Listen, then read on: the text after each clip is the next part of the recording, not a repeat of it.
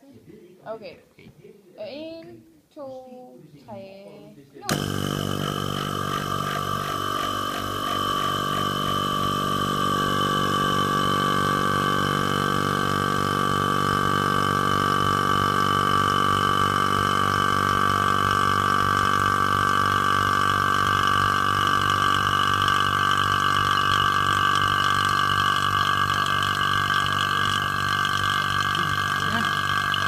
pelo continente.